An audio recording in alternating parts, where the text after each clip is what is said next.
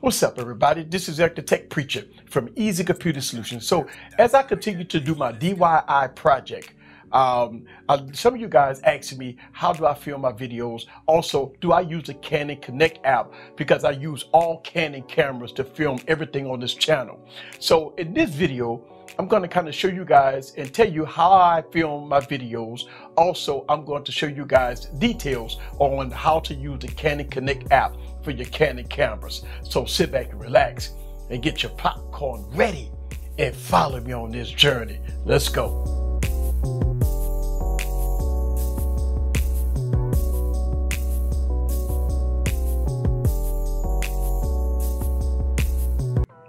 What's up guys, this is Eric back with another video. So this is my continuous coverage of my DIY project that I'm doing in my studio. As y'all guys know, I took my whole studio, just ripped it apart and I started from scratch. I got some new backgrounds, I I'm still using green screens, but I got new backgrounds and everything in between. I have a overhead setup, also new lights, and I got three camera angles. Actually, I have four Canon cameras, but I have three camera angles uh, that I use here on this channel. So let's go to the go over it real quick because this video, I want to kind of dedicate some time as far as how to use the Canon Connect app. A viewer of mine hit me up in the comments and say, hey, do I use the Canon Connect app to monitor uh, my videos and stuff like that? Sure I do. Uh, the Canon Connect app is very good. If you have a Canon camera, please use the app. But I'm going to go over it also. But you can use, you know, Sony apps and other systems have apps like that. But since I'm a Canon guy and I use nothing but Canon cameras, the Canon Connect app is very important. All right, so let's go over it. All right, I got three camera angles that I got going on. I got the Canon SL3 for my side angle, right? And it works very well. Uh, I have my new Canon 90D that I'm using for my front camera. And then I'm using for the overhead camera, I'm using the Canon M50 uh, with the Viltrox speed booster with a 50 millimeter lens on it to kind of get that good overhead shot. So let's talk about the monitors. I have three monitors, actually two monitors in my PC. I haven't got the third monitor yet, that's on the way. This monitor right here is the newer monitor.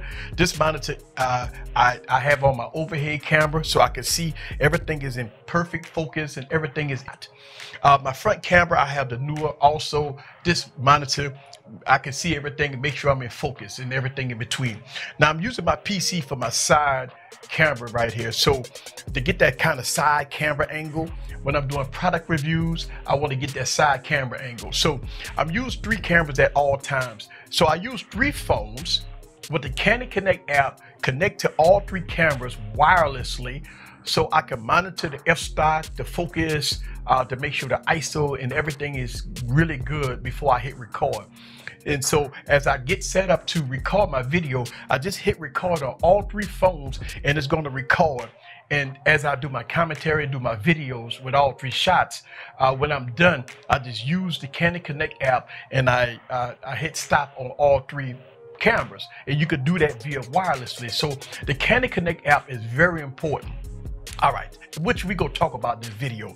So let's talk about the lights. I'm using the Viltrox lights. I have six of them all around my, my poles here.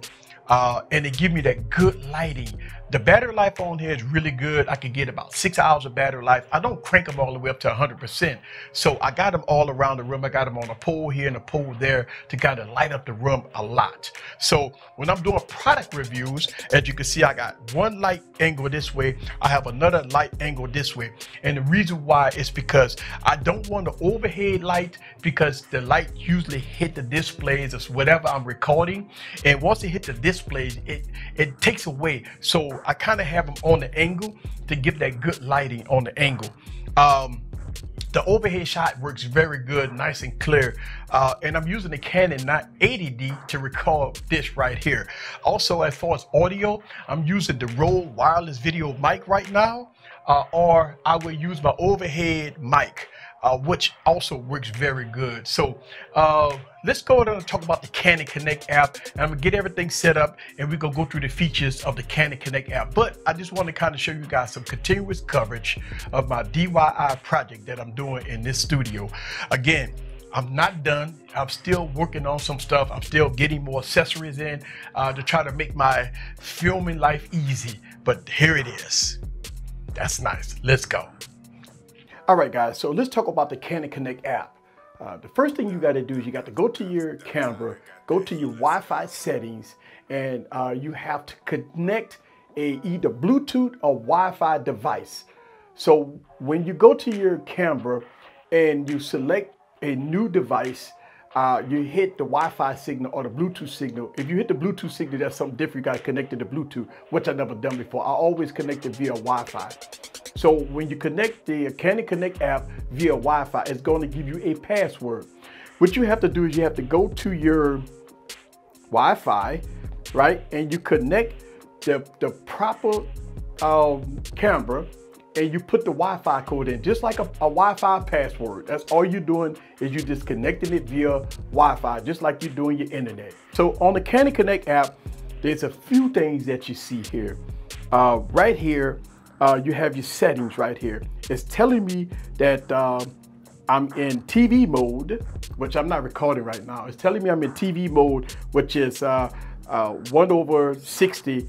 Then it's telling me my my f-stop is 4.5 so I'm right at 4.5 so if I wanted to change some stuff just say if I wanted to change my ISO let's go to change it down to about 800 it makes it a little darker so 800 is about right for uh, for what I do but you can change your ISO and everything in between all right and right here uh, my shutter speed is 1 over 60 so um, right that's great all right uh, that's great my shutter speed because I'm shooting at uh, 30 frames per second. So since I'm shooting at 30 frames per second, you double your shutter speed. So I'm at 1 over 60. So hey, it is, is good. If you go to your setting, it, it kind of tell you if you want to mirror, if you want to uh, magnify to make sure that you're in focus, which sometimes you want to magnify just to make sure that the product that you're trying to shoot is in focus so you can magnify and stuff like that.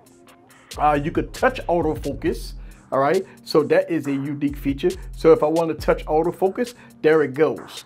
So right there is telling the camera that I want this in focus. As you can see, I just touch autofocus. If I want to touch autofocus right there, uh, you can do that. So uh, you, before you even start recording, you get everything set up, you touch your autofocus, you do your magnification and everything in between. So this works great. So that's the Canon Connect app. It's real easy. It's a must if you record videos a lot like I do. Uh, I don't know how else to say it. It's the best thing that you can use is the Canon Connect app. Not only that, but uh, I could take the images right off of the camera and um, upload it to my tablet.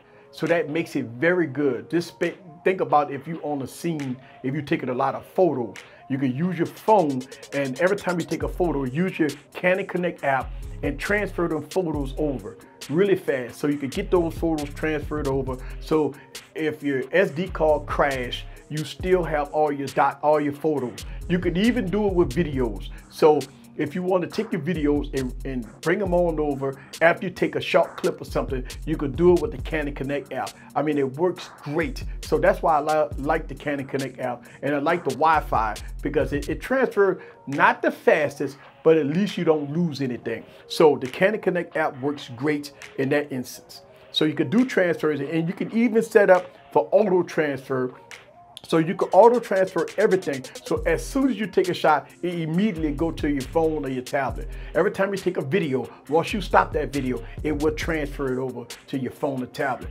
So in this video, I just showed you my, uh, some of my progress in my studio. Um, it's, it's still a work in progress.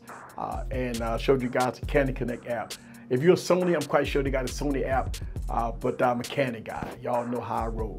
So um, I love Canon. I love how to use them. I love the, the system. I love the Canon system. It works great for me. Uh, and uh, but some of y'all guys try to switch me over to Sony, but uh, I, I, made a, a, tough decision to stay a Canon man. This is Eric from Eazy Computer Solutions. Leave your comments down below. Let me know what you think about the Canon app in all its glory. See you guys on the next video. Peace.